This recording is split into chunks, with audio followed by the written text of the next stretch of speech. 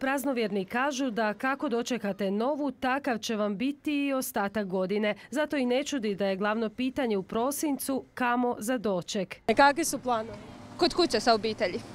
Najbolje, najsigurnije? Najbolje sa djecom, sva djeca zajedno, cijela obitelj zajedno. U Zagreb. Kod kuće? Nigdje. Znate kakva je procedura u ovim godinama? Najljepša kuća. Za one koji žele nešto glamurozniji doček u Slavonskom brodu izbora je dosta. Slavonsko-brodske svečane dvorane potrudile su se raskošno ukrasiti svoje prostore, prirediti bogate menije, a cijene se ove godine kreću od 250 do 400 kuna po osobi. U novogodišnjoj noći organiziramo doček u našim salama. Bend koji nam svira je Dominican Company. Uz gastro ponudu nudimo šampanjac u ponoć. Za novu godinu priredili su se i brodski restorani, nešto povoljniji su dočeci i po kafe barovima, a u nekima je dovoljno tek rezervirati stol i tako si osigurati doček u zatvorenom i na toplom. A najmasovniji doček nove godine bit će u Slavonskom brodu upravo na ovom mjestu na trgu Ivane Brlić-Mažuranić. Za sve kojima ne smetaju minusi i koji vole dočeke na otvorenom, bit će to najljepši ulazak u 2020. Zašto trg? Što mislite o dočecima na otvorenom? Pa jako, jako, jako zgodno i tu je, bit će puno ljudi i lijepo je tu.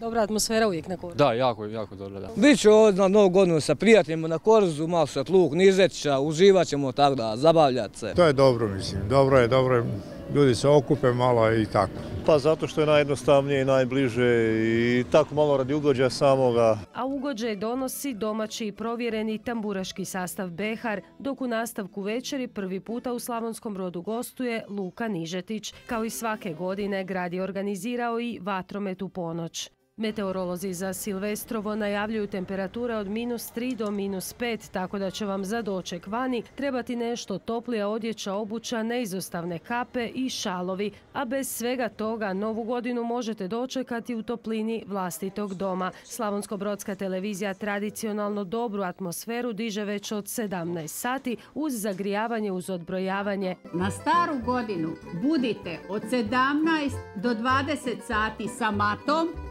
i Maricom. A veseli novogodišnji program nastavljamo i nakon dnevnika. Od 20 i 30 na programu Slavonsko-Brodske televizije pojačavamo zagrijavanje i odbrojavanje uz prvo i posljednje izdanje ove godine emisije Silvestrovo e, zajedno kroz čestitke, darivanje, glazbeni best of i naravno kontakt program. Bez obzira čekate li prve minute nove uz televizor na trgovima u najboljim restoranima, najvažnije je uvijek biti u dobrom društvu.